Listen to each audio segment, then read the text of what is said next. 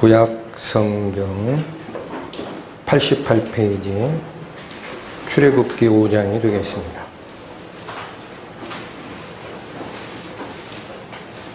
출애굽기 5장 1절부터 3절까지의 말씀 그 후에 모세와 아론이 가서 바로에게 이르되 이스라엘 하나님 여호와의 말씀에 내 백성을 보내라. 그들이 광야에서 내 앞에 절기를 지킬 것이니라 하셨나이다. 바로가 가로되 여호와가 누구관데 내가 그 말을 듣고 이스라엘을 보내겠느냐? 나는 여호와를 알지 못하니 이스라엘도 보내지 아니하리라. 그들이 가로되 히브리인의 하나님이 우리에게 나타나셨은즉 우리가 사흘길쯤 광야에 가서 우리 하나님 여호와께 희생을 드리려 하오니 가기를 허락하소서 여호와께서 온역이나 칼로 우리를 치실까 두려워하나이다. 기도하시겠습니다. 하나님 아버지, 오늘도 저희는 말씀 앞에 섰습니다. 하나님께서 애굽에 종살이 하던 이스라엘 백성을 끌어내시면서 바로에게 명하신 사흘길쯤 광야에 가서 우리 하나님께 경배하리이다 라고 하신 이 말씀을 오늘날 저희가 어떻게 받고 하나님을 섬기는 길에 서야 하는지를 상고하고자 합니다. 이 시간 온전히 성령께서 저희 마음에 함께 계셔서 기록하신 그 말씀의 뜻을 분명히 깨닫고 저희 생각과 행동을 바꾸어가는 은혜의 시간으로 이끌어 주옵소서. 주 예수 그리스도 이름 받들어 기도 올립니다. 아멘. 출애굽기 5장 1절부터 3절까지의 이 말씀은 애굽에 종살이 하던 이스라엘 백성을 당시 종을 부리던 지위에 있었던 애굽 왕 바로에게 이러이러한 이유로 인해 그 백성들을 보내라라는 명령을 여호와 하나님께서 주신 내용입니다. 그래서 여기 3절에 보시면 그들이 가로되 히브리인의 하나님이 우리에게 나타나셨은즉 우리가 사흘길쯤 광야로 가서 우리 하나님 여호와께 희생을 드려야 된다라는 말을 주셨습니다. 이 사흘길쯤이라는 의미랑 광야에 간다라는 이 의미가 우리 하나님 여호와께 희생을 드리려 하오니 라는 말씀의 앞에 있습니다. 그래서 이 말은 하나님께 희생을 드린다, 하나님과 아, 절기를 같이 지킨다. 뒤에 다시 찾아보시겠습니다만 하나님을 경배한다, 섬긴다 라는 말씀인데 그 전제 조건으로 애굽에 종살이 하던 이 백성들에게 사흘길쯤은 광야에 가서 하나님을 섬겨야 된다라는 말씀을 주신 거죠. 그렇다면 이 말은 갔다가 돌아온다는 얘기가 아닙니다. 왜 굳이 사흘이라는 음, 시간적 척도를 명시하셨으며 왜 굳이 광야라는 장소적 의미를 주셨는지가 저희 신앙생활에 아주 중요한 의미를 지닌다라고 생각이 됐습니다. 자, 먼저 살피실 것은 사흘길이라고 굳이 말씀하신 이유는 무엇일까? 분명히 애굽에서 출발하여 나가서 광야에 사흘쯤 갔다가 예배드리고 다시 돌아온다라는 말씀은 아닐 듯한데 그런데 여기 출애굽기에 요 사흘길쯤 광야로 가서라는 이 말이 몇 번 바로에게 선포가 되는지를 가만히 살펴봤더니 세 번이 됩니다. 세 번. 먼저 살펴봅니다. 예, 앞에 3장 15, 18절. 3장 18절. 그들이 내 말을 들으리니 너는 그들의 장로들과 함께 애굽 왕에게 이르기를 히브리 사람의 하나님 여호와께서 우리에게 임하셨은즉 우리가 우리 하나님 여호와께 희생을 드리려 하오니 사흘길쯤 광야로 가기를 허락하소서 하라. 3장 18절에 이 말씀이 처음 주어졌고 이건 모세에게 이렇게 이렇게 바로에게 가서 말해라 라고 하나님이 주신 말씀이죠. 그리고 오늘 본문에서 5장 3절에 그들이 가로되 히브리인의 하나님이 우리에게 나타나셨은즉 우리가 사흘길쯤 광야에 가서 우리 하나님 여호와께 희생을 드리려 하오니라고 이건 바로 왕하고 직접 대화한 내용입니다. 물론 바로는 거절을 했습니다. 그리고 8장으로 가보십니다. 8장. 8장 27절. 네, 이 상황은 바로가 계속 이스라엘 백성 놓아주기를 거부하다가 네 번째 재앙, 예, 흡혈파리를 보낸 후에 바로가 아, 이제는 못 버티겠다라고 교섭을 했던 때입니다. 그때 다시 무세가 하는 말이 27절입니다. 우리가 사흘길쯤 광야로 들어가서 우리 하나님 여호와께 희생을 드리되 우리에게 명하신 대로 하여 하려 하나이다. 그래서 이 사흘길쯤 광야로 나가서라는 시간과 공간적 두 가지 요건이 바로에게 명하는 과정에 세 번이 나왔다라는 것은 어떤 의미일까? 여러분 성경에서 세 번 거듭된다라는 것은요 변할 수 없는 확정을 의미할 때 쓰입니다. 삼위일체의 3이라는 숫자도 하나님이 변하시지 않는 분이고 완전하신 언약의 위에 계신 분이다라는 의미도 됩니다. 여러 사례가 있지만 구약에 보면은 어린 사무엘이 성전에 서서 섬길 때 하나님께서 사무엘을 몇 번 거듭 부르셨어요? 세 번 부르십니다. 사무엘아, 사무엘아. 어린 사무엘은 하나님을 경험한 적이 없기 때문에 엘리 제사장이 부르는 줄 알고 쪼로록 달려가고 두 번째도 똑같습니다. 사무엘아, 사무엘아. 엘리 제사장한테 또 달려갑니다. 그리고 엘리 제사장의 조언을 듣고 앞으로 그 음성이 다시 들리면 주여 말씀하소서 이 종이 듣겠나이다라고 얘기를 하라. 해서 마지막 세 번째 사무엘아 사무엘아 라는 말씀이 왔을 때 그는 하나님인 줄 알고 부복합니다. 예수 그리스도께서 십자가의 죽음을 앞두고 겟세만의 동산에서 그렇게 고분분투하고 땀이 피가 될 정도의 에, 고민 속에 아버지 하나님께 기도한 기도의 횟수가 몇 번입니까? 세 번입니다.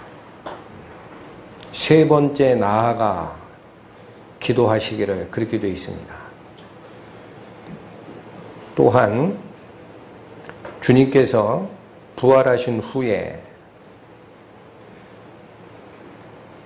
대제사장 앞에서 예수 그리스도를 세 번 부인했던 베드로에게 다시 한번 그의 목자를 치는 직임을 위임할 때도 몇 번을 확인하셨습니까? 세 번 확인합니다.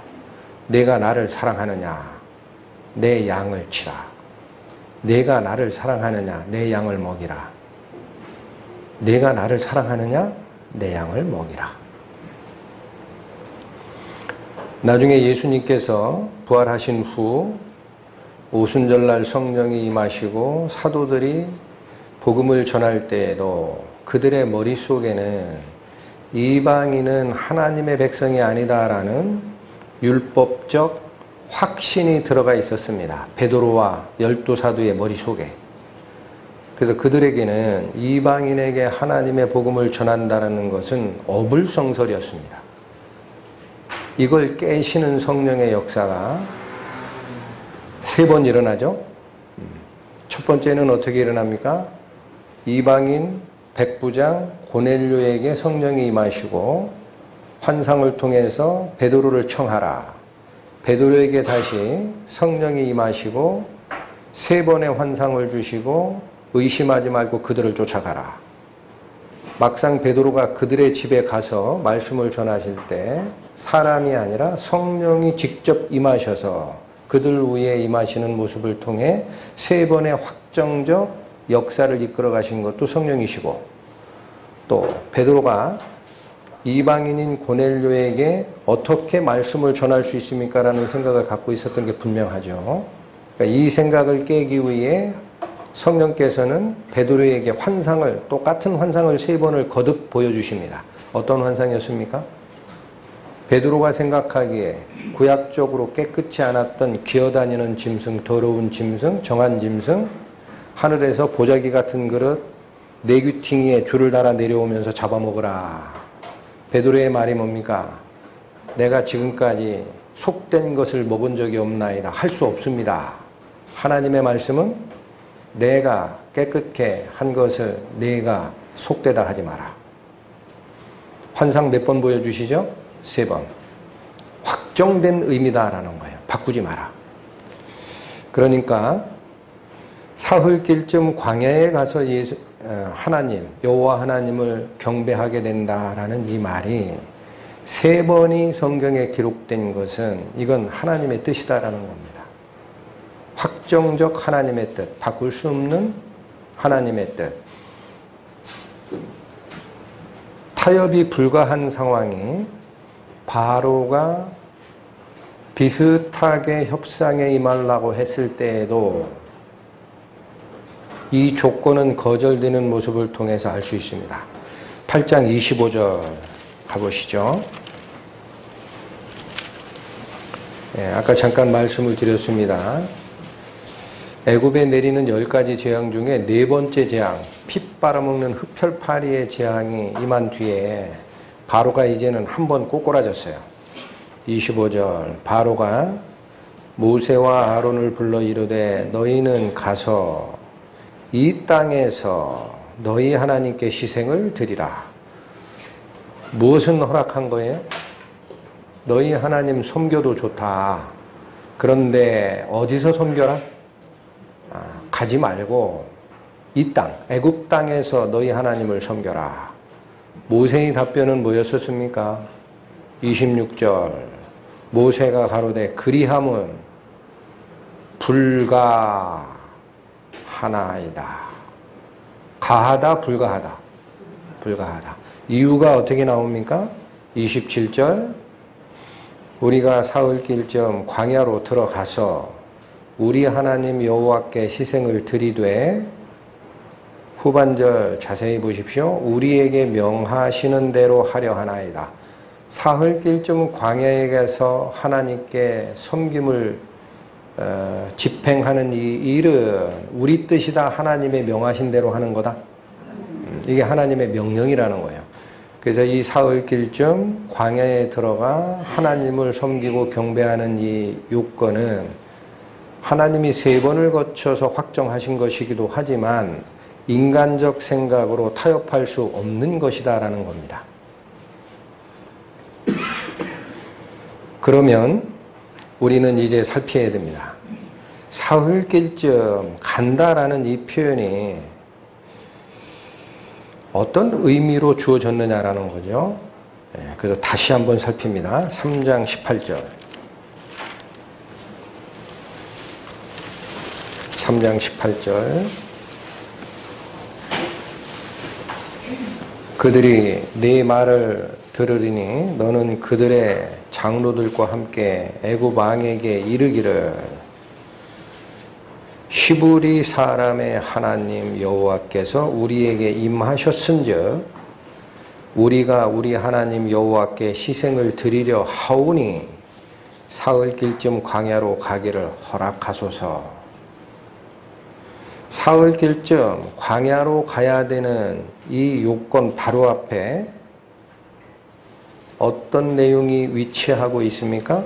우리 하나님 여호와께 희생을 드리려면 그렇게 해야 된다라는 거예요. 그런데 우리 하나님 여호와께 희생을 드리려라는 말씀 바로 앞에는 무엇이 위치하고 있습니까? 여호와께서 우리에게 임하셨은즉이라는 말씀이 앞서고 있습니다. 이것도 우리 하나님을 쫓아가고 하나님을 경배하는 과정에 굉장히 중요한 과정, 루트, 조건이 여기 제시되어 있습니다. 하나님은 누가 경배할 수 있어요? 하나님께 희생을 드리려라는 말이 하나님을 경배하는 겁니다. 그런데 그게 누가 가능한 겁니까? 이 문장 그대로 쫓아가시면 우리에게 하나님이 임하셨은즉 경배를 하러 갈 거야. 그렇게 되어 있습니다. 그러니까 하나님께 제사 드리고 하나님을 찬양하고 하나님을 섬기고 하나님을 주님으로 섬기는 이들은 아무나 허락되는 게 아니고 어떤 게 전제 조건으로 성취된 자들만 하나님을 섬길 수 있다? 하나님이 임하신 자들. 이거를 하나님의 성령이 임하신 자들이라고 바꿔보시면 신약 시대에 우리의 위치가 딱 드러납니다. 네. 그 다음 5장 1절도 같은 의미입니다. 가보십니다. 그 후에 모세와 아론이 가서 바로에게 이르되 이스라엘 하나님 여호와의 말씀에 누구를 보내라? 내 백성을 보내라. 그들이 광야에서 내 앞에 절기를 지킬 것이니라. 여기도 문장 구성이 같습니다. 광야에서 내 앞에 절기를 지킬 것이니라 라는 말씀은 하나님을 섬겨야 된다라는 뜻입니다. 3장 예. 18절에 있었던 희생을 드리려 하오니라는 말씀과 같은 겁니다. 그런데 그 앞에 전제 조건이 뭡니까? 내 백성을 보내라. 선언이 앞서죠. 그러니까 누가 하나님께 경배를 드릴 자격이 있는 자라는 뜻입니까? 내 백성. 하나님의 백성으로 거듭난 자. 이 말씀은 한 번 다시 확정됩니다. 8장 1절 갑니다. 여호와께서 모세에게 이르시되 너는 바로에게 가서 그에게 이르기를 여호와의 말씀에 내 백성을 보내라 그들이 나를 섬길 것이니라. 자, 3장 18절에서 5장 1절, 8장 1절 세 번에 걸쳐서 하나님께서 요구하는 것이 무엇이냐면 하나님께서 우리에게 임하셨은즉 우리가 여호와께 희생을 드리려 하오니 내 백성을 보내라. 그들이 광야에서 나를 절기를 지킬 것이니라. 내 백성을 보내라. 그들이 나를 섬길 것이니라.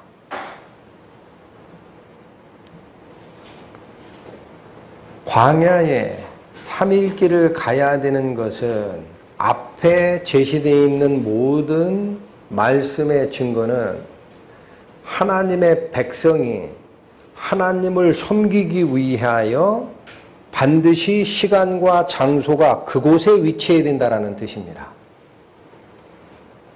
이런 구조가 눈에 보이십니까? 그러니까 사흘길쯤 광야라는 것은 하나님을 예배하는 과정에 굉장히 중요한 요인들이었던 겁니다. 우리가 미처 이해하지 못하고 우리가 알고 있는 3차원 공간적 광야와 또 공간과 같이 움직이는 시간적 척도로서만 이해를 하다 보니까 깊이 있게 못 들어갔던 거죠. 5장 1절을 다시 한번 보실까요?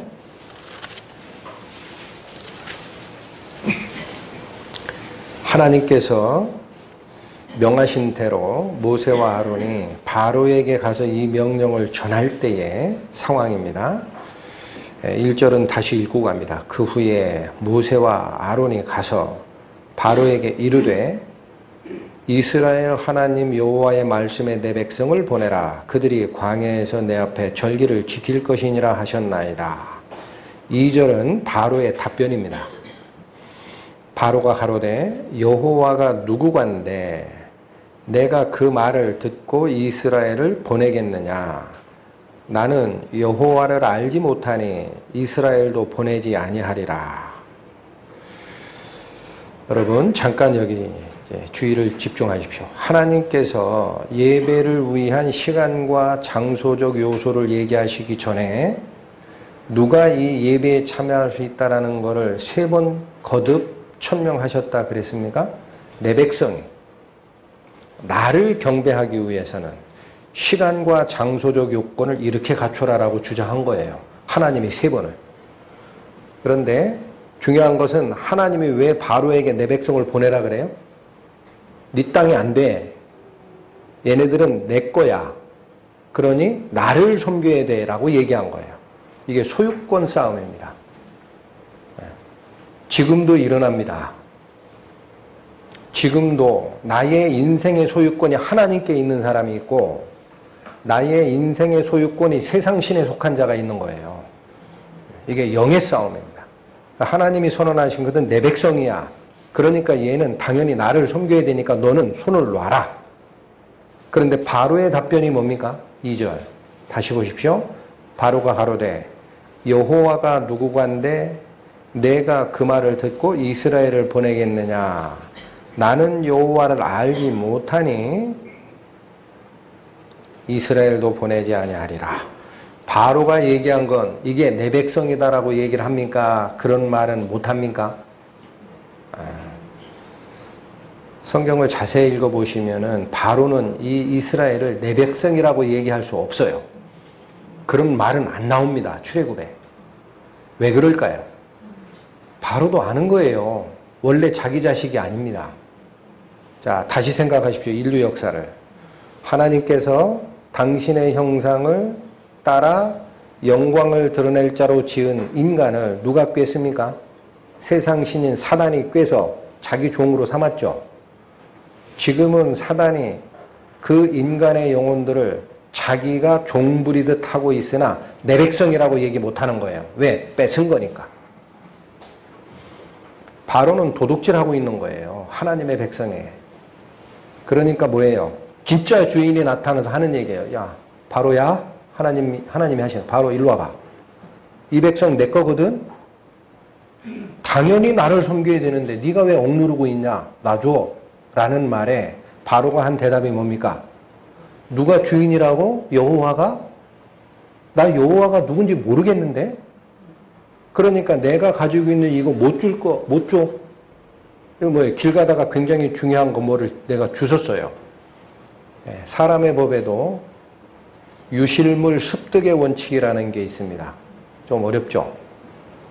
잃어버린 물건은 습득자가 원주인에게 신고를 하고 3개월인가 공고기간이 지나도 안 나타나면은 그 습득자의 소유권으로 되는 게 우리 법입니다. 인간의 법. 유실물 습득의 원칙. 바로가 주장하는 거예요. 이제껏 주인 없었다라는 거예요. 내가 난 민족, 내가 만든 백성, 내 백성은 아니지만 내가 이거 유실물로 가지고 있거든.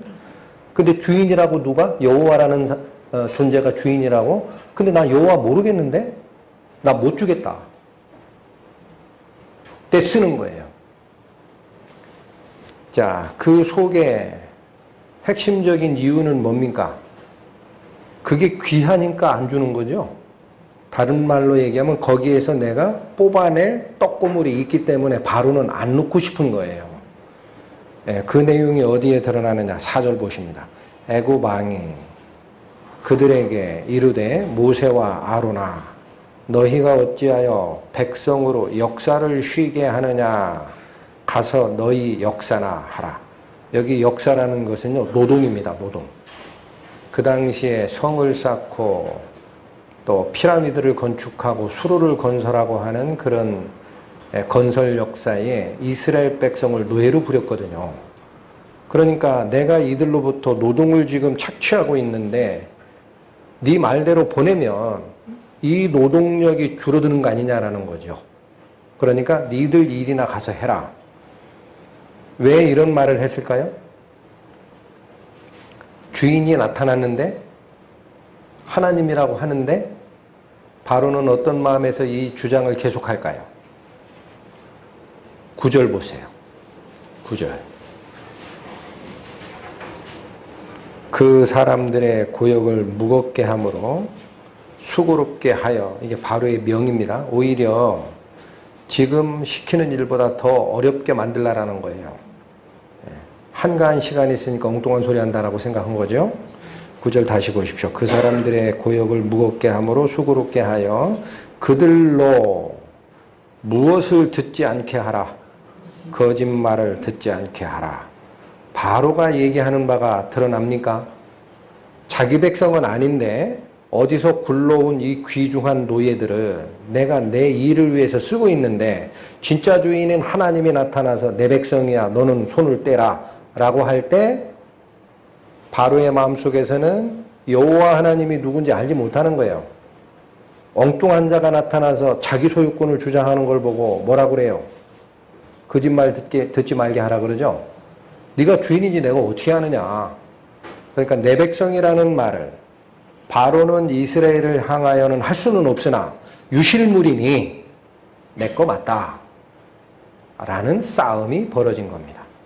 하나님과 진짜 주인이신 하나님과 하나님의 백성을 길거리에서 주서서 자기 종으로 삼았던 가짜 주인은 바로 간에 이제 본격적 싸움이 벌어지는 장면이 이 뜻입니다.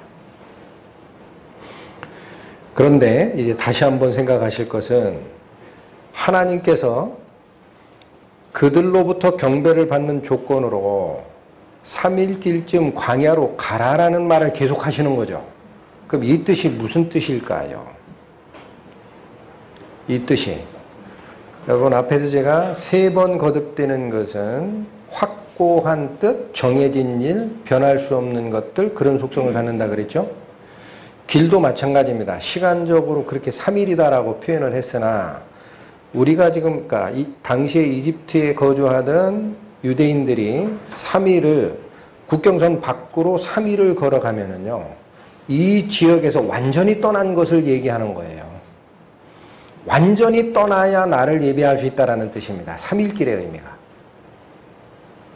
그러니까 우리가 하나님을 예배할 때는 기존에 이방신을 섬기던 곳, 그 다음에 거기서 죄 속에 살던 곳에서 완전히 떠나야만 하나님을 예배할 수 있는 위치에 간다라는 뜻입니다.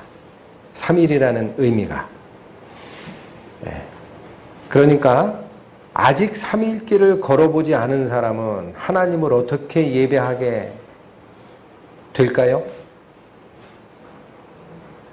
내가 옛날에 살았던 세상, 내가 거기에서 떡고물을 먹고 살았던 세상, 조금 가증한 것들이 있지만 그래도 섞여 살았던 세상에서 3일 길을 떨어져 나가지 않은 상태, 중간쯤 있는 사람들은 하나님도 섬기고 우상도 섬깁니다. 그건 하나님이 바라시는 예배가 아닙니다. 그런 사례를 에스겔 선지자가 지적한 말씀이 있습니다. 에스겔 14장 갑니다. 구약성경 1167페이지.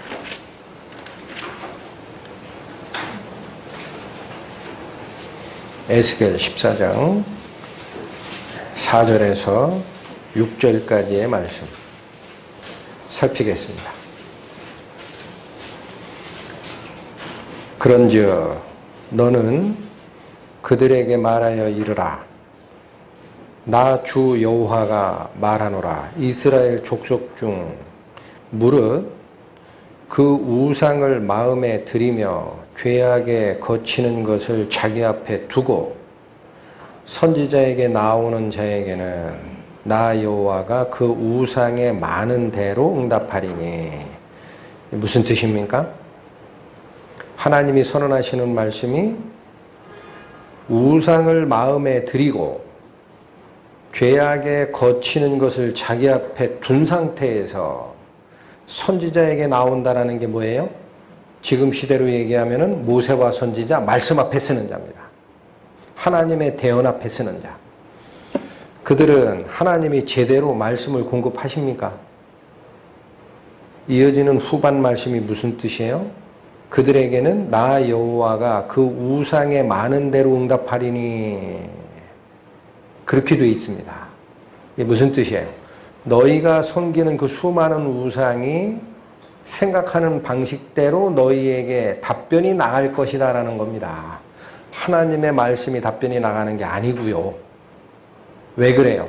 혼합된 정신, 혼합된 환경 하에서 하나님을 섬기게 되면 하나님의 순수한 말씀만이 나가는 게 아니고 너희 속에 가지고 있는 생각과 결합되고 혼합되고 비빔밥처럼 비벼진 상태에서 답변이 나갈 것이다 라는 겁니다. 완전한 분리가 왜 우리 신앙에 중요한지가 드러나는 대목입니다.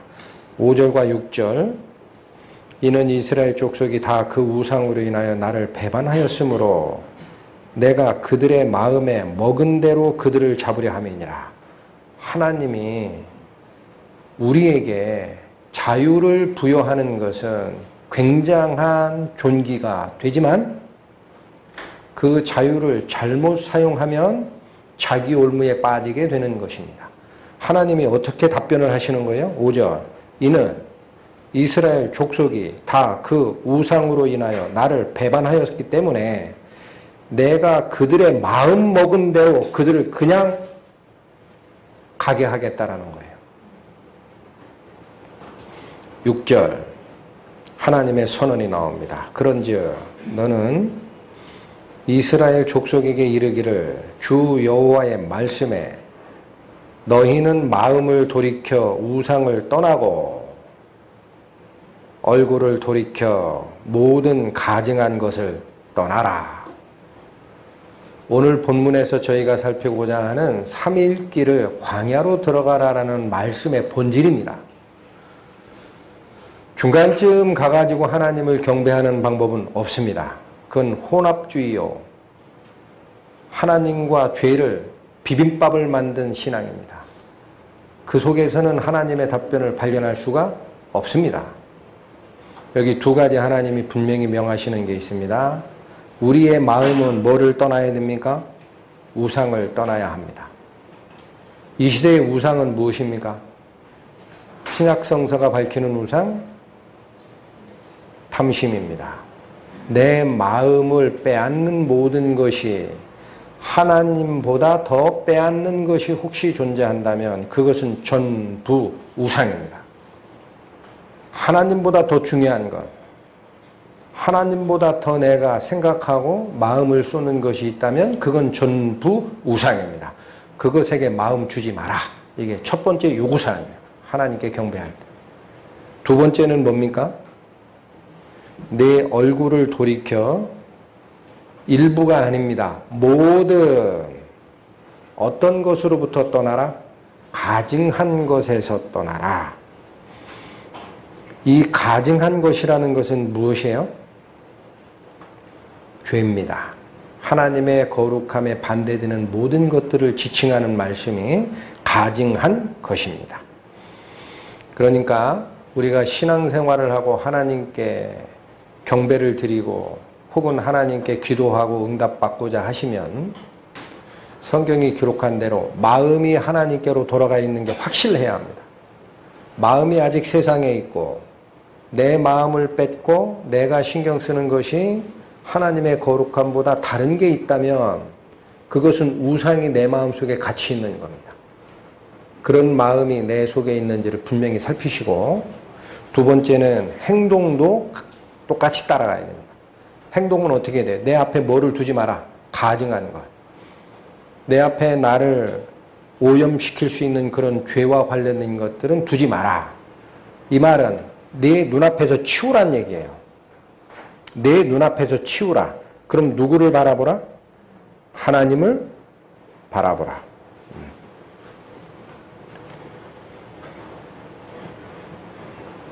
자, 우리는 구체적인 행동 지침을 설명드리기는 좀 그렇긴 한데, 하나님을 쫓아가는 성도라고 하면서 술을 먹거나 담배를 피우는 것이 과연 합당하냐라는 거예요. 그게 들어오면 내 정신이 온전합니까? 다른 쪽으로 끌고 가는 힘이 있습니까? 술이 들어오면은 술 기운이 나를 지배하는 게 보이시죠? 니코틴도 마찬가지고 그런 걸 내 몸속에 넣고도 하나님의 음성이 깨끗하게 들리기를 기대하지 마십시오. 잘못된 생각을 하고 있는 거예요. 또한 요즘은 모든 유혹이 어디를 통해 오느냐 믿음의 선진들도 얘기하는 것이 내 눈앞에 음란한 것 두고 마음이 하나님께 돌아가기를 기대하지 말라 그렇게 얘기하십니다. 요즘에는 인터넷망이 너무나 잘 발달돼 있어서 유튜브 같은 데 들어가면 설교도 엄청 열려 있어요. 그건 너무 은혜로워요. 시간과 장소에 제한이 없이 하나님 말씀을 접하게 되어 있습니다. 그런데 살짝 종이의 뒷면을 보면은 그렇게 음란한 것들이 많이 돌아다니죠. 그런 것에 내 눈이 이렇게 가 있으면은요, 의학자들이 얘기하는 것은 눈은 뇌의 연장이라 그래요. 눈으로 들어오는 모든 것은 뇌에 쌓입니다. 내 마음에 영향을 주고 결국은 내 마음이 하나님의 순수한 음성에서 눈을 돌리게 하는 역할을 분명히 하고 있는 거예요. 그들을 내 눈앞에서 어떻게 하라? 치우라.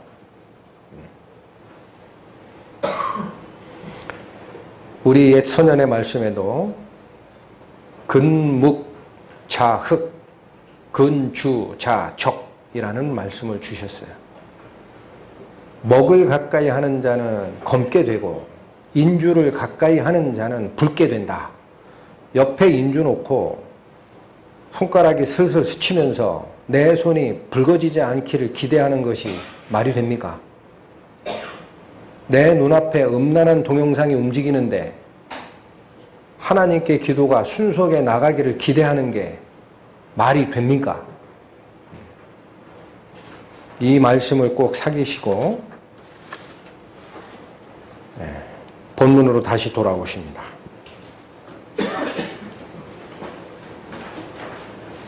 (5장) 3절 말씀 그들이 가로되 히브리인의 하나님이 우리에게 나타나셨은즉 우리가 사흘길쯤 광야로 가서 우리 하나님 여호와께 희생을 드리려 하오니 앞에 말씀하신 사흘길의 의미는 설명을 드렸습니다. 사흘이 뭐라 그랬습니까? 기존에 존재하고 있던 곳에서 완전히 이별되는 시간적 거리라 그랬어요. 그리고 이 사흘은 세 번이 하루라는 시간이 세 번이 연거푸됐기 때문에 확고히 떠난 것을 얘기한다. 중간쯤 서가지고 하나님을 경배할라 생각지 말라. 그러면 광야라는 말은 무슨 뜻일까? 사흘길을 가면 하나님이 예정하신 당신의 땅에서 드리는 게 아니고 여러분 광야에서 만나라 그래요. 광야. 광야가 뭘 의미하는 것일까? 신명기로 갑니다. 구약 274페이지. 신명기 8장으로 가시겠습니다.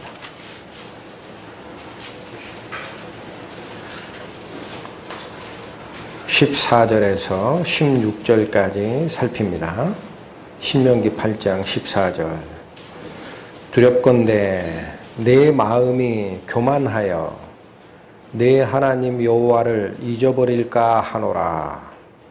여호와는 너를 애굽 땅 종되었던 집에서 이끌어내시고 너를 인도하여 그 광대하고 위험한 광야 곧 불뱀과 전갈이 있고 물이 없는 건조한 땅을 지나게 하셨으며 또 너를 위하여 물을 굳은 반석에서 내셨으며 내 열조도 알지 못하던 만나를 광야에서 내게 먹이셨나니 이는 일부가 다 다 너를 낮추시며 너를 시험하사 마침내 내게 복을 주려 하심이었느니라.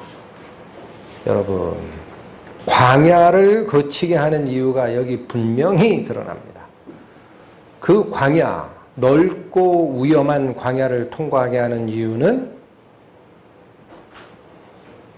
너를 낮추시며 너를 시험하사 최종적으로는 너에게 복을 주려는 의미라는 겁니다. 우리 그리스도인들이 세상에 남아서 살아가는 과정에 고난과 질병과 어려움이 있죠. 이게 광야의 생활이라고 합니다. 그런데 그 광야 생활에서 반드시 다른 건 잊어먹으셔도 좋아요. 반드시 기억하실 게 있습니다. 그 어려움, 고난, 질병, 이러한 광야 생활을 왜 하나님이 우리에게 주시고자 한다라고 얘기합니까? 왜? 다 너를 낮추시려고 하는 거다. 교만을 꺾으려고 하는 일이다. 그러니까 하나님을 섬김에 있어서는 저희 말씀 사랑교회 지나간 아, 두달 정도의 설교 말씀을 다시 복습할 기회가 있으시면 보십시오. 설교의 핵심이 뭡니까? 교만하지 말라. 너를 드러내려 하지 마라. 하나님의 교회는 그렇게 되는 것이 아니니라. 그게 다 그 말씀들이 나갔어요. 계속 나가는 말씀이. 왜 그래요? 광야의 생활이 성도의 신앙의 핵심적 가치를 발견케 하기 때문에 그리스도께서 오셔서 자기를 높이신 적이 있으십니까? 그분은 하나님 당신이셨습니다. 그러나 이 땅에 오실 때에도 구더기 같은 인생의 모습을 쓰고 오시기를 기뻐하셨습니다. 본인이 공생의 역할을 하실 때 가난한 자, 억눌린 자, 귀신 들린 자를 다 고치시고 배고픈 자들에게 오병이어의 기적을 베푸시고 모든 자에게 섬기는 자 의 자세로 살아셨고 막판에는 당신의 목숨을 지옥에 갈 수밖에 없는 저희들의 생명을 대신해서 주시고 가신 분이에요. 그리고 제자들을 떠나기 바로 전에 만찬 규례를 정하시고 나서 손수 눈에 보이는 퍼포먼스를 하시고 가셨습니다. 허리에 수건을 두르시고 친히 열두 제자의 발을 대야에 물떠서 씻기셨습니다. 무릎 꿇어야 하는 일입니다. 그게. 베드로가 깜짝 놀란 건 당연합니다. 주여 어찌 이런 일이 있습니까? 우리가 주의 발을 씻겨도 시원찮을 판에 제 발은 절대 못 씻기십니다. 그 말이 나올 법한 얘기입니다. 나중에 그 퍼포먼스를 완전 하시고 나서 주신 말씀이 뭐였어요? 이 일을 한 것은 너희도 그렇게 하라고 본을 보인 것이니라. 하늘에 계신 하나님이 땅에 오셔서 당신의 생명을 주시고 가시는 그 공생의 역사 전체가 자기를 낮추심이었습니다.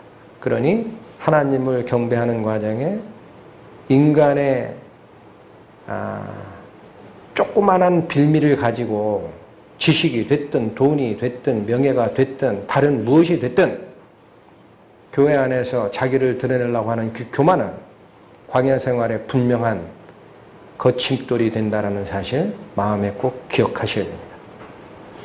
자, 여기 신명기 8장 14에서 16절에 두렵건대 내 마음이 교만하여 내 하나님을 잊어버릴까 하노라. 여러분, 죄가 중요한 게 아니고요. 유혹이 중요한 게 아니고요. 나를 바꿔가는 것은 내 마음속에 있는 결단이라고 합니다. 그런데 그 결단을 막는 제일 큰 장애가 무엇이냐? 교만이라고 합니다. 자기가 높아질라는 이 교만은 여기 신명기 말씀대로 하면은 결국에는 누구를 잊게 만드는 요소가 됩니까? 하나님을 뒤로 던지는 요소가 됩니다. 그 광대하고 위험한 광야를 지나게 하신 것이 너를 낮추시고 최종적으로 복을 얻게 하려 함이라 라고 했어요. 그런데 중간에도 경험을 하게 해주십니다. 광야에는 먹을 것도 없고 물도 없습니다. 생명유지의 기초 요소도 없는 곳이 광야입니다. 그러면 글로 불러내셔서 하나님께서는 뭐를 기본적으로 주셨어요? 물도 주시고 하늘에서 만나를 내려 양식도 주셨습니다. 이 말씀은 예수님께서 하신 말씀과 똑같습니다. 너희는 무엇을 먹을까, 무엇을 마실까 염려하지 마라. 이것들은 이방인이나 구하는 것이요. 너희들에게 이런 것이 필요한 줄 하늘에 계신 아버지께서 아시느니라. 그러므로 너희는 이렇게 하나님께 구하라. 어떻게 구하라? 먼저 그의 나라와 그의 의를 구하라. 하나님께서 우리 생명의 필수 요소는 공급하신다 약속이 있습니다. 같은 말씀을 주시는 거예요. 광야의 의미가 이제는 예, 앞에서 반포되는 말씀보다 본인의 생각을 같이 예, 돌리시면서 연합하십시오. 광야에는 무엇이 있습니까? 없습니까? 거기는 궁궐도 없고요. 재물도 없고요. 먹을 것도 없어요. 거기에 내가 처하면 나는 누구를 바라보게 돼 있어요? 생명의 근원을 바라보게 되어 있습니다. 저를 일단 살려주십시오.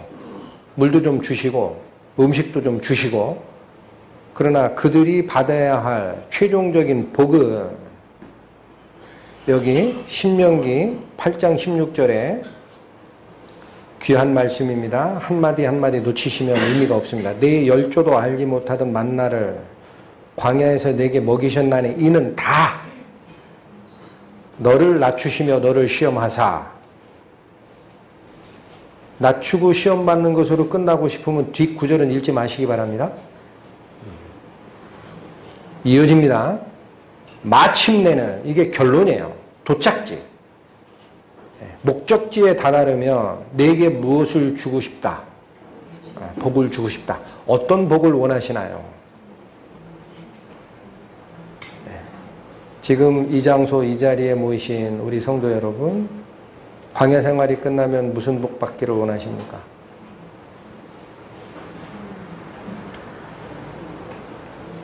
호세아서를 잠깐 보실까요?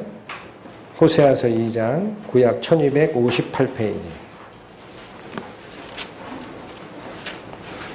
호세아서 2장 1258페이지 13절에서 15절까지 말씀을 봅니다. 저가 귀고리와 폐물로 장식하고 그 연애하는 자를 따라가서 나를 잊어버리고 향을 살라 바알들을 섬긴 시를 따라 내가 저에게 벌을 주리라 나 여호와의 말이니라. 우리 인간들이 유혹을 받는 부분을 여기선 귀고리와 폐물로 장식을 하고 네 마음에 원하는 이방신을 쫓아서 음행했다라는 거예요.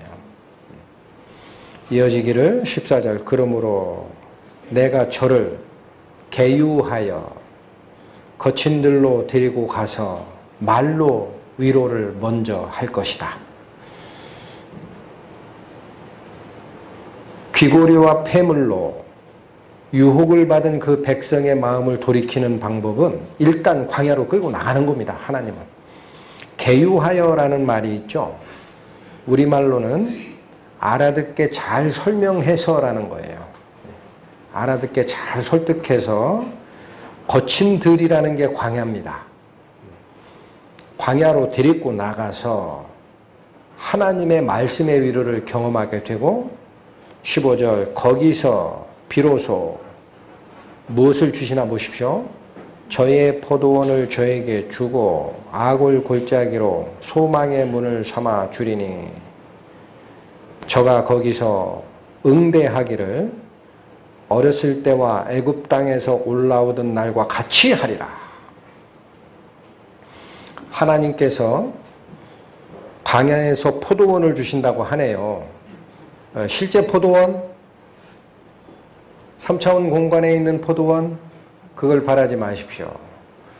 하나님과 교제하는 정원이 포도원입니다. 하나님의 말씀이 공급되는 곳이 포도원입니다. 포도원도 주고 뭣도 줍니까? 옛날에 아골 골짜기로 눈물을 흘렸던 그곳을 무엇으로 바꿔줍니까? 기쁨으로 바꿔줍니다. 포도원을 저에게 주고 아골 골짜리로 소망의 문을 삼아 주리니 저가 거기서 응답하기를 아주 옛날에 너의 어렸을 때 애굽 땅에서 올라오던 날의 기쁨과 같이 되리라. 아굴 골짜기가 어느 골짜기인지 기억하십니까? 이스라엘 백성들이 광야 40년 생활을 끝내고 약속된 가나안 땅으로 들어갈 때 요단강 동편에서 하나님의 직권적 능력으로 법계를 맨 제사장들이 먼저 요단강 물에 발을 담그니 물이 딱 중지돼 가지고 마른 땅을 건너갔습니다. 그리고 나서 첫 번째 성 여리고 성은 하나님께서 내가 이 전쟁을 한다. 너희는 손대지 마라. 하나님의 말씀을 담은 법계를 여리고 성을 하루에 한 번씩 돌되 일주일간 돌고 마지막 7일째는 일곱 번 돌고 다 끝나면 모든 백성은 외치라 해서 그대로 무너져 버렸습니다. 그 여리고성 전투가 있었을 때 하나님의 거룩함이 나타나는 곳은 사람의 손을 쓰시는 게 아닙니다. 그리고 하나님의 거룩함 앞에 서 있는 죄인들은 전부 죽는 게 맞습니다. 인간적 윤리를 가지고 하나님 심하다 그런 얘기 하시면 영적 눈이 하나도 안 열리신 분입니다.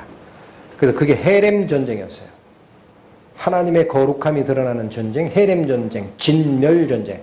전부 죽이고 무엇도 취하지 말고 짐승도 다 죽이라. 그런데 그 중에 한 사람, 물질적 유혹에 마음이 뺏긴 그 자가 외투 한 벌 가지고 나오고 금덩어리 하나 뭐 하나 가지고 숨겼죠. 기억나십니까? 그 자가 돌에 맞아서 죽어 장사된 곳이 아울 골짜기입니다. 하나님의 거룩함 앞에서 자기 욕심을 챙기려고 했던 자기 욕심을 따라 하나님의 거룩함을 거스렸던 그 자. 그 통곡의 골짜기를 이제는 소망으로 바꿔주시는 곳이 어디다? 광야다. 그런데 거기서 포도원을 얻고 소망을 얻고 하는 것은 여러분은 어떤 소망과 포도원을 원하시나요? 다시 묻습니다. 광야 생활 끝에 바라시는 게 무엇이에요? 제일 큰 상급 바라시죠? 그 상급이 무엇입니까? 일찍이 아브라함에게 하나님이 명하신 말씀이 있습니다. 이거 힌트 드리면 안 되는데. 네. 아브라함에게 고립무원에서 네. 방황했을 아브라함에게 하나님이 말씀하신 것이 나는 너의 방패요. 너의 지극히 큰 상급이니라. 그게 가장 큰 상급이에요. 하나님을 얻는 것이. 신약 성경에도 똑같이 얘기합니다. 고린도 후서로 갑니다. 고린도 후서 1장 페이지로는 286페이지입니다.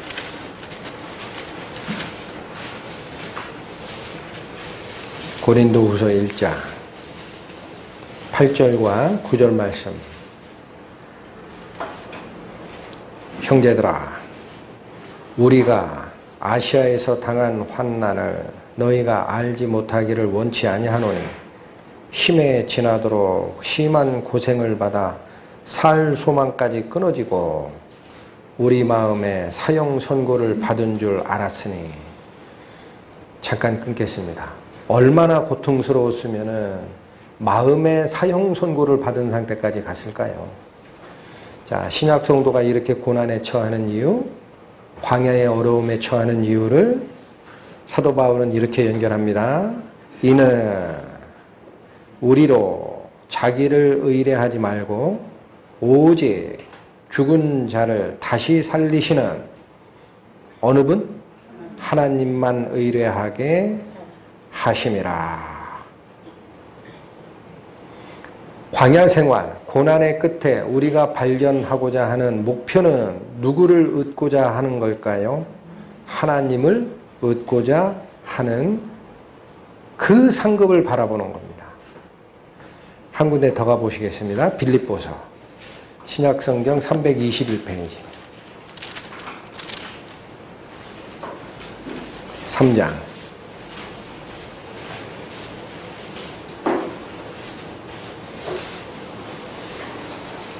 7절에서 9절까지 말씀 봅니다. 그러나 무엇이든지 내게 유익하던 것을 내가 그리스도를 위하여 다 해로 여길 뿐더러 또한 모든 것을 해로 여김은 내 주 그리스도 예수를 아는 지식이 가장 고상함을 인함이라. 내가 그를 위하여 모든 것을 잃어버리고 배설물로 여김은 자세히 보십시오. 그리스도를 얻고 그 안에서 발견되려 함이니 여기 사도 바울이 이 죽을 고생을 하는 과정에 바라봤던 장소가 한 곳이 있습니다. 무엇을 바라봤습니까?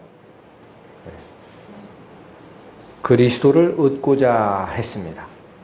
그런데 그 그리스도를 얻고자 하기 바로 전에 사도 바울이 했던 일이 있습니다. 버리는 게 먼저입니다. 8절부터 다시 봅니다. 7절부터 그러나 무엇이든지 내게 유익하던 것을 내가 그리스도를 위하여 다 뭐로 여겼습니까? 예, 7절은 세상적으로 살 때에 사도 바울에게 유익한 거였어요. 도움이 되는 것이 있었어요. 도움이 되는 거. 예, 속되거나 그런 게 아니고 그러나 그 도움이 되는 이것들을 다 뭐로 여겼어요? 방해물로 여겼습니다. 방해물. 예, 여기 해로 여기문이라는 것은 예, 원어적 의미는 데미지를 입히는 것 또는 손실을 가져오는 것 그렇게 읽히는 단어가 쓰인 겁니다. 데미지나 로스예요. 그러니까 사도 바울이 7절에서 제일 먼저 자기 마음에서 쳐낸 것이 있습니다. 유익한 것일지라도 그것은 그리스도를 얻는 과정에서는 방해물이고 손실을 가져오는 거라는 거예요. 그래서 그걸 다 쳐냈을 뿐만 아니라 뿐더러 8절 또 모든 것을 해로 여겼죠.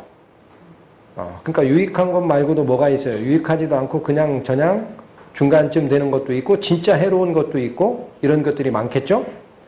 예, 그러니까 7절 8절을 결합하시면 사도 바울이 버린 것 중에는 모두 다 버렸다라는 게 강조가 된 겁니까?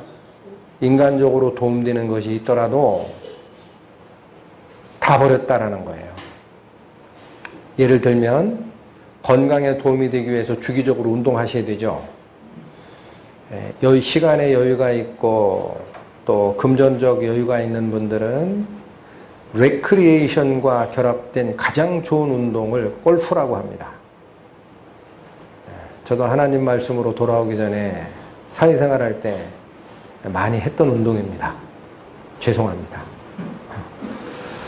다져보면은요, 너무 좋아요.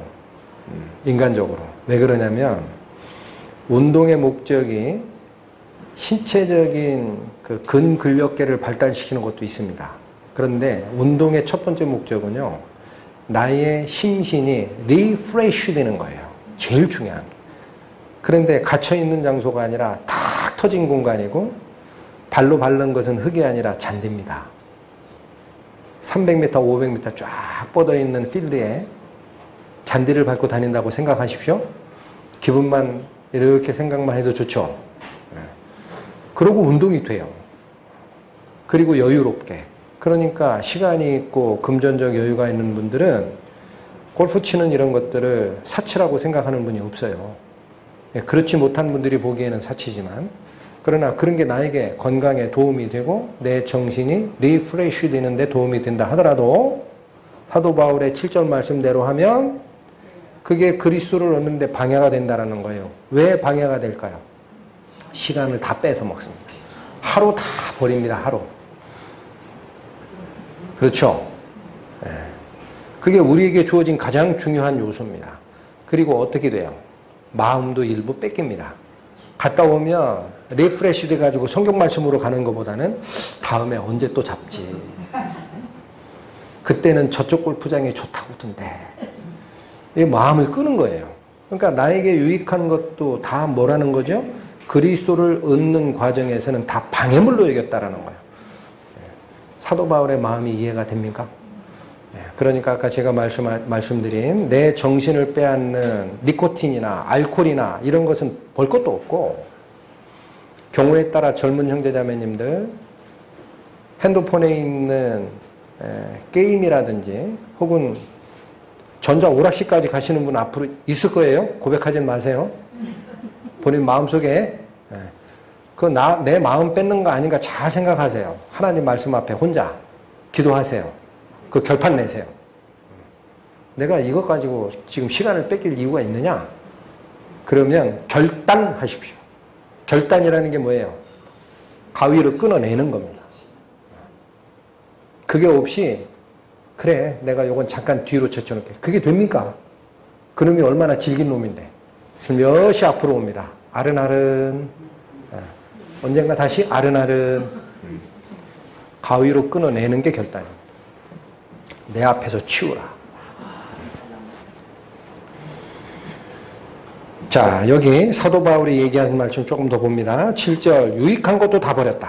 방해물이다 생각되는 것은 8절 또한 모든 것을 해로 여김은 내 주 그리스도 예수를 아는 지식이 가장 고상함이고 내가 그를 위하여 모든 것을 잃어버리고 배설물로 여김은 다 쓰레기 처리했다라. 여러분 쓰레기 쓸모 있겠다 싶어서 방에 모아놓는 분 없죠? 쓰레기통에 집어넣을 거 아니에요.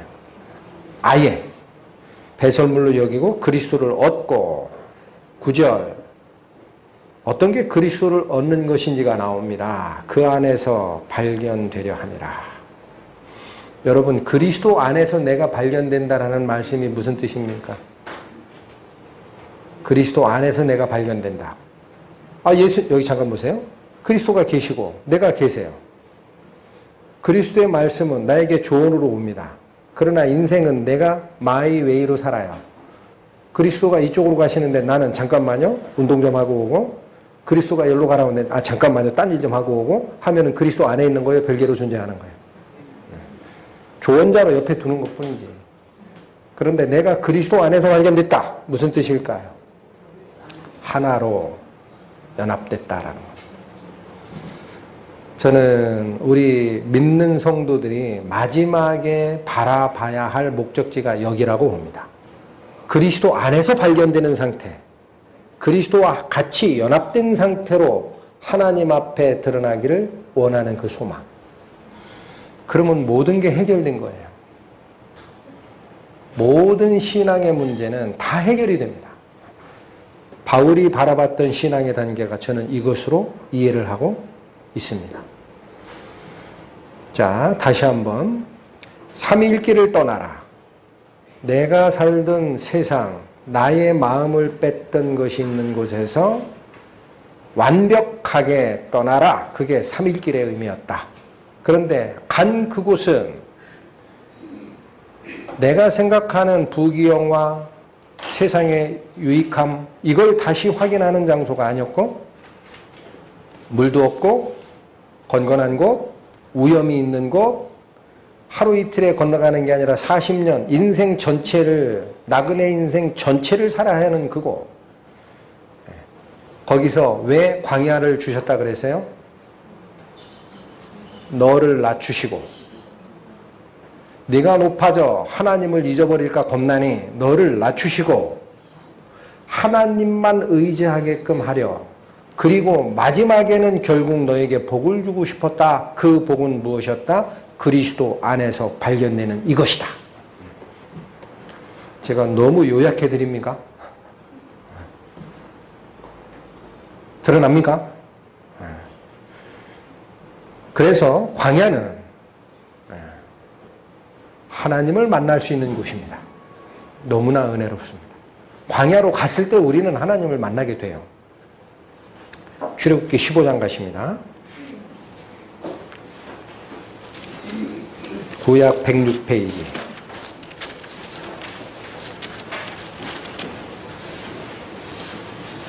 출애굽기 15장 22절에서 25절의 말씀. 네, 살피겠습니다. 모세가 홍해에서 이스라엘을 인도함에 그들이 나와서 수루 광야로 들어가서 거기서 사흘 길을 행하였으나 물을 얻지 못하고 마라에 이르렀더니 그곳 물이 써서 마시지 못하겠으므로 그 이름을 마라라 하였더라. 백성이 모세를 대하여 원망하여 가로되 우리가 무엇을 마실까 하매 모세가 여호와께 부르짖었더니 여호와께서 그에게 한 나무를 지시하시니 그가 물에 던짐에 물이 달아졌더라. 거기서 여호와께서 그들을 위하여 법도와 윤례를 정하시고 그들을 시험하셨다. 그렇게 되어 있습니다. 여러분 22절에 이게 언제 일어난 것인지가 드러납니다. 모세가 홍해에서 이스라엘을 인도하여 나와 광야 방향으로 사흘을 갔다라고 되어 있습니다. 이게 오늘 본문 출애굽기 5장에서 모세와 아론에게 바로에게 명하기를 사흘길쯤 광야로 가서 하나님을 예배해야 되니까 내 백성 보내라 라고 했던 사흘길입니다. 여러분 홍해를 건너기 전까지는 그건 애굽의 영토였어요. 아직 안 떠난 겁니다. 그 안에서 바로가 다시 쫓아오고 병거로 쫓아오고 했던 거지. 그건 애굽을 떠난 게 아직은 아니에요. 홍해를 건넌 게 애굽을 떠난 거예요. 근데 거기서 얼마를 갔죠? 네, 이 사흘길을 갑니다. 광야로. 그러니까 성경을 상고하시다가 하나님이 사흘길을 가서 나를 예배해야 된다. 광야로 그것도. 라고 하실 때 그게 어디에서 메아리로 화답하시는지를 보는 능력을 기르셔야 돼요. 이곳입니다. 이곳. 광야로 사흘쯤 갔어요. 그런데 뭘 만났어요? 예? 쓴물 만났어요. 쓴물. 먹으면 죽는 물. 이 쓴물은 그런 뜻입니다. 먹지 못할 물. 그러니까 생명의 위기가 온 건데 하나님은 간단하게 기록되어 있으나 이 위기를 단물로 바꾸십니다. 먹을 수 있는 물, 우리가 드디어 생명을 얻을 수 있는 물로 바꾸십니다. 그런데 그렇게 바꾸는 과정에 사람의 힘이 아니고 하나님의 전권적인 시행이 가미되어 있는데 뭘 했다라고 되어 있어요? 하나님이 지시하시는 한 나무. 그 나뭇가지를 물에 집어 던진 거예요. 그랬더니 물이 어떻게 됐어요? 먹을 수 있는 생명수로 바뀌었다. 나뭇가지가 어떻게 그런 일을 합니까? 참 희한하네. 무슨 나무였을까요? 여긴 안 나오죠? 네. 이 나무는 못 먹을 물을 생명수로 바꾸는 나무임에는 틀림이 없어요. 맞죠? 아, 다른 건 몰라. 문맥이 그거 아니에요. 먹을 수 없는 물을 먹을 수 있는 생명수로 바꾸는 역할을 한 나무죠.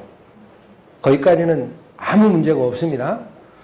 근데 성경이 얘기하는 이 나무가 누구냐? 한번 살피겠습니다. 고린도 전서 10장 잠깐 가보십니다.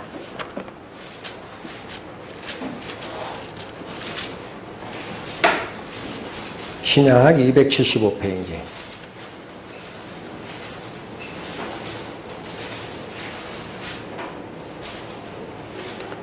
1절에서4절 봅니다.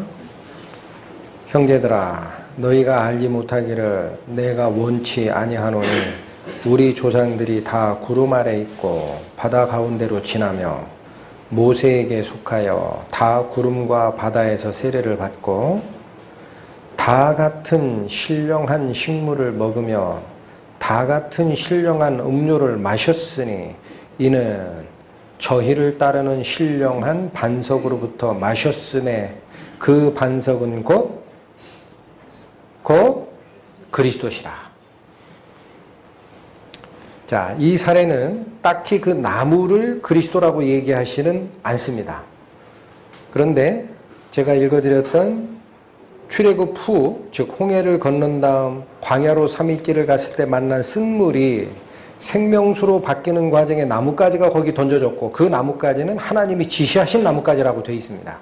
근데 이 이후에도 물이 없어서 백성들이 원망할 때 하나님의 명이 어떻게 나갔습니까? 호랩산 반석을 향하여 모세는 마주서서 그 반석을 네 지팡이로 때리라. 거기서 물이 나오리라 라는 사건이 있었었죠.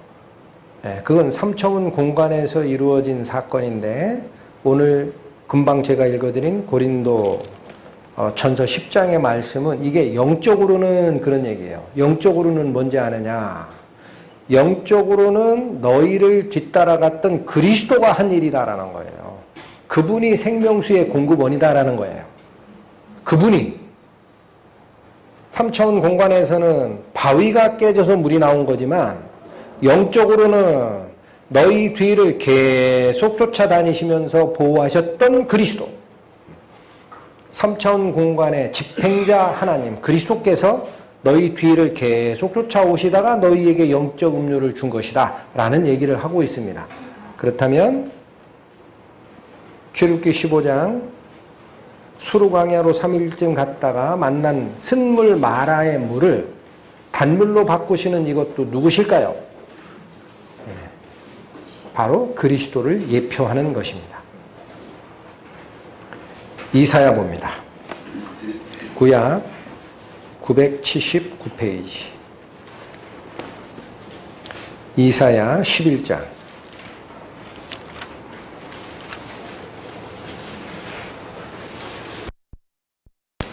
1절에서 5절까지.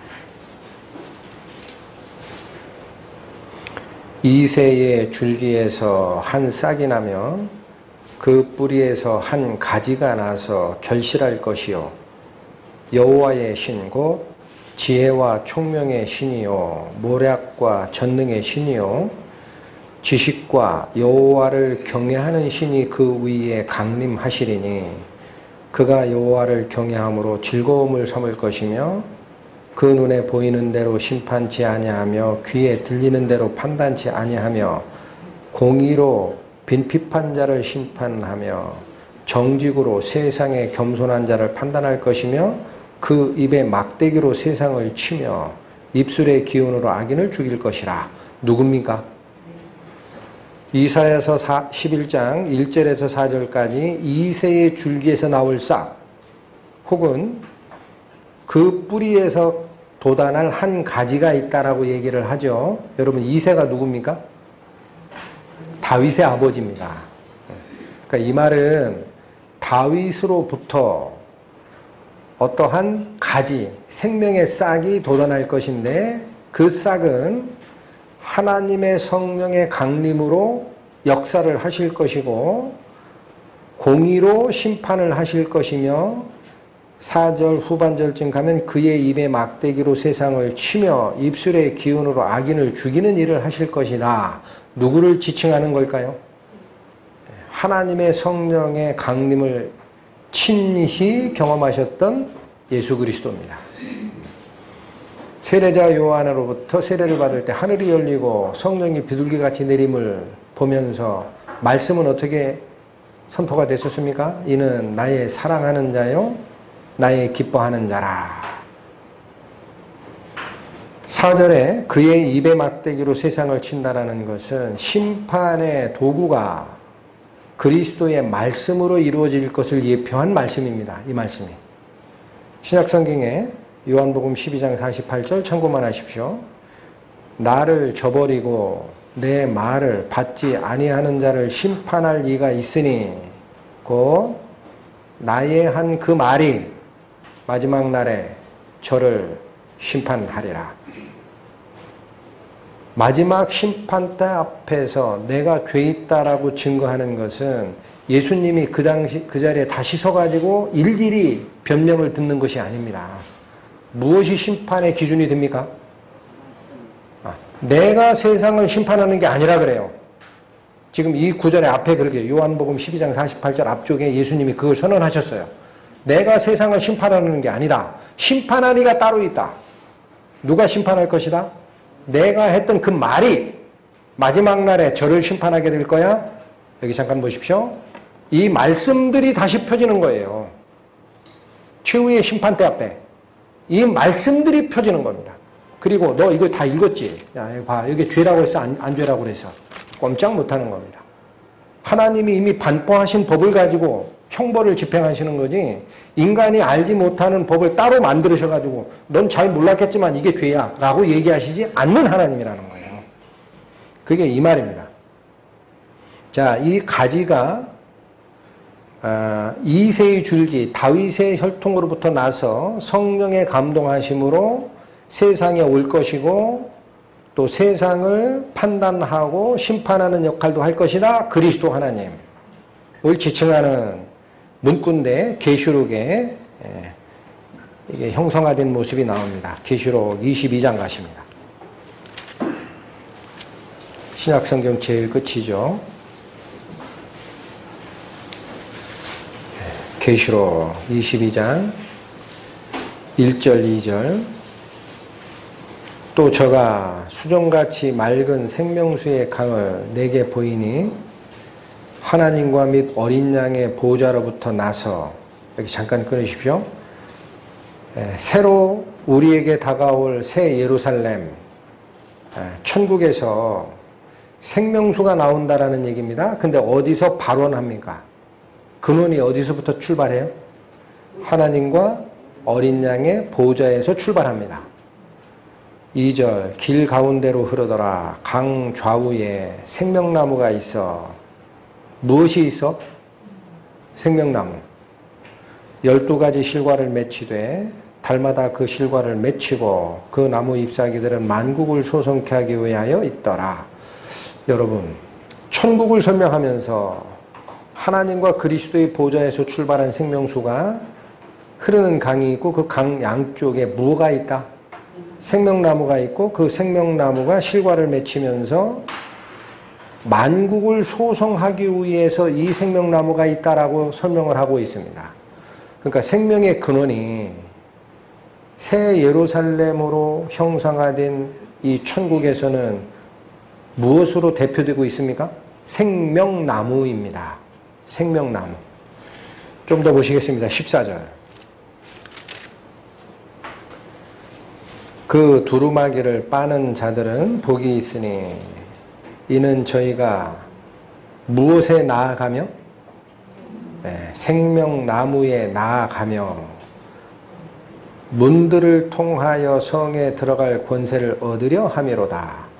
구원받은 자가 하나님께서 입혀주신 깨끗한 세마포 두루마리를 입고 말씀을 통해 그 두루마리를 깨끗게 유지하는 그런 이유들은 그들이 곧 생명나무에 나아가고 문을 통과하여 새 예루살렘에 들어갈 권세를 얻고자 그렇게 순종한다라는 얘기예요. 근데 여기서는 하나님, 그리스도의 보좌, 생명수, 빛 이런 거 싹 빠지고 뭐와 뭐만 나와요? 생명나무에 나아가는 것이 목적이고 성에 들어가는 권세를 얻고자 하는 게 목적이다라고 분명히 기록하고 있죠. 17절 갑니다. 성령과 신부가 말씀하시기를 오라 하시는도다. 듣는 자도 오라 할 것이요. 목마른 자도 올 것이요. 또 원하는 자는 값없이 생명수를 받으라 하시더라.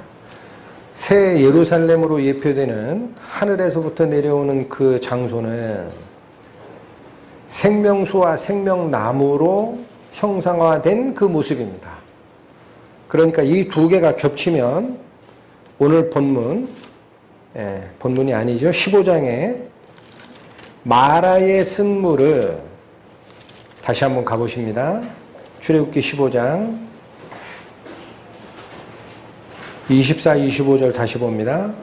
백성이 모세를 대하여 원망하여 가로되 무엇을 아 우리가 무엇을 마실까 하매 25절 모세가 여호와께 부르짖었더니 여호와께서 누가 하신 거예요? 하나님이 그에게 한 나무를 지시하시니 이 보여주신 거예요. 한 나무를 보여주시니 그가 물에 던짐에 그 나무를 물에 던진 겁니다. 물이 달아졌더라. 나무가 생명수와 연합하는 모습이 이곳입니다. 그러니까 이것은 3일길을 광야로 가서 생명의 근원이신 누구를 만난 거예요? 예수님을 만나는 겁니다. 우리가 하나님 앞에 나아가는 과정에 이러한 거듭남, 이러한 생명의 재탄생이 없이는 아무것도 예배할 수 없습니다.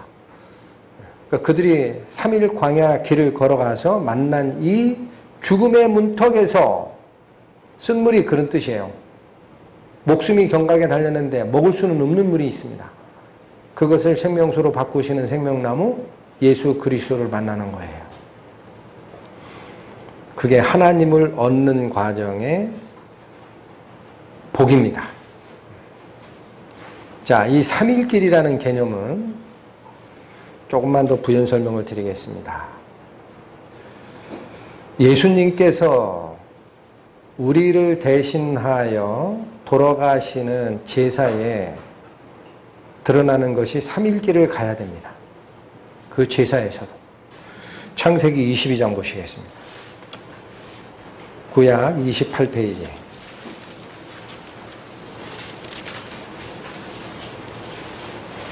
창세기 22장은 예, 하나님께서 아브라함에게 준 독자 이삭을 하나님께 제물로 바치라라고 얘기하셔가지고 그걸 실행하는 것이 창세기 22장의 내용입니다. 자, 2절 4절 봅니다. 여호와께서 가라사대 내 아들 내 사랑하는 독자 이삭을 데리고 어디로 가서 네, 모리아 땅, 이 지명 잘 기억하십시오. 모리아 땅으로 가서 내가 내게 지시하는 한 산 거기서 그를 번제로 드리라. 아브라함이 아침에 일찍 일어나 나귀의 안장을 지우고 두 사환과 그 아들 이삭을 데리고 번제에 쓸 나무를 쪼개어 가지고 떠나 하나님의 자기에게 지시하시는 곳으로 가더니 사절 얼마 만에 제3일에 아브라함이 눈을 들어 그곳을 멀리서 바라본지라. 아브라함이 번제 드릴 준비 모든 그 어, 나무와 이런 준비물과 번제가 될 이삭을 데리고 하나님이 지시하시는 아모리 모리아 땅 그곳까지 가는데 여기 며칠 걸렸다고 나옵니까? 8절 봅니다. 아브라함이 가로되 아들아 번제할 어린 양은 하나님이 자기를 위하여 친히 준비하시리라 하고 이거 왜 이 대답 나간지 아시죠? 이삭이 물었잖아요. 3일 동안 가는데 아무래도 궁금한 거예요. 예, 번제에 쓸 나무 이런 거 다 준비해 가는데 잡아 죽일 양을 안 갖고 가는 것이 보인 거예요. 그러니까 이삭이 묻잖아요, 아버지. 아버지요, 다른 건 다 있는데 번제에 드릴 양은 어디 있습니까? 라고 물었죠. 그때 아브라함이 답한 말씀이 8절입니다. 다시 읽습니다. 아브라함이 가로되 아들아 번제할 어린 양은 누가 준비할 거야? 누구를 위하여? 친히 준비하시리라. 이 말씀이 무슨 뜻일까요? 이 말씀이. 아브라함은 하나님이 지시하는 일을 3차원 공간에서 그냥 순종하는 거예요. 근데 하나님은 이걸 가지고 앞으로 드려질 그리스도의 희생제사를 이 안에 쭉 파노라마처럼 배경으로 깔고 가시는 겁니다. 내가 드릴 그 이삭을 잡아 죽이는 제사는 하나님이 나중에 드릴 제사다라는 거예요. 그러니까 하나님께서 당신의 제사를 드리기 위해서는 당신이 준비한 양이 있고 당신이 직접 제사를 드릴 거야. 지금 그 얘기죠. 그러니 걱정하지 마라. 14절 갑니다. 자, 결국은 어떻게 됐습니까? 그 말을 믿고 이삭은 쫄래쫄래 쫓아갔는데 아브라함은 이삭을 팔을 결박하여 어, 재단에 눕혀놓고 바위 위에 눕혀놨겠죠. 칼을 들어 그의 심장을 찌르라 할 때 천사가 나타나서 막았습니다. 뭐라고 막았어요? 너의 믿음을 보았으니 그를 그에게서 손을 대지 마라 하시고 옆에 그 조그만 관목에 이 뿔이 걸린 양을 보게 하셔서 그 양으로 대신 제사를 드리는 과정이 있었습니다. 근데 그때 중요한 것은 이삭이 자기를 잡으려 하는 자기 아비 아브라함에게 이런 반구 나를 왜 죽이려 하나이까 말한 적이 있습니까 없습니까? 없습니다. 그게 누구 모습입니까? 예, 예수님의 모습. 내가 대신 짐을 죄의 짐을 주고 죽으라 할 때 예수 그리스도께서는 아버지 하나님의 뜻을 100% 순종하고 그냥 쫓아가는 모습입니다. 근데 이 과정이 다 끝나고 나서 14절입니다. 아브라함이 그 땅의 이름을 뭐라 불러요? 여호와 이레 라 하였으므로 오늘날까지 사람들이 이르기를 여호와의 산에서 어떻게 되리라? 이 아모리 땅, 즉 그 올라간 그 산, 이 산에서 미래형입니다, 이건. 하나님께서 나중에 준비하실 거야 라고 부른 땅의 이름을 뭐라고 불렀다? 여호와 이레라고 불렀다. 여호와는 하나님의 성, 아, 함자고, 이레라는 말은 준비하다라는 뜻이에요. 히브리 말이. 예비하다, 준비하다. 그러니까 뭐를 받은 거예요? 8절 그대로 받은 거죠? 8절 다시 보세요. 아브라함이 가로되 아들아 번제할 어린 양은 하나님이 자기를 위해 친히 준비할 거야. 그래서 결국 이삭이 제물로 드릴 그 위기가 모면이 되고 나서도 아브라함은 뭐를 지칭하는 거예요? 끝났다가 안 해요. 그러니까 이삭을 잡아 죽이려고 할 때 네 아들에게 손대지 마라 하고 옆에 뿌리 나뭇가지에 걸린 양을 바라봐서 개를 제사로 드린 게 여호가 준비한 게 아닙니다. 이해하셨죠? 그걸 아브라함이 앞으로 하나님이 준비할 거야라고 얘기한 게 아니라는 거예요. 그럼 끝났는데 뭘 또 준비해요? 하나님이 준비한 양 드렸는데 끝난 거지. 그게 아니고 그 땅을 아브라함이 이제서는 안 겁니다. 앞으로 하나님께서 준비하실 거야. 뭘 준비해요? 당신의 제사와 당신의 희생양 그리스도를 준비할 거야. 미래형으로 돼 있다니까요. 다 끝났는데도 이해하셨습니까? 자, 이 땅에 무엇이 서, 서, 습니까? 나중에. 이 아모리산, 아모리 땅에 있는 이 산에 무엇이 서요? 하나님께 제사 드리는 성전이 있습니다. 바로 그 땅에. 역대하. 구약 성경 역대하. 네, 3장 페이지로 658페이지입니다.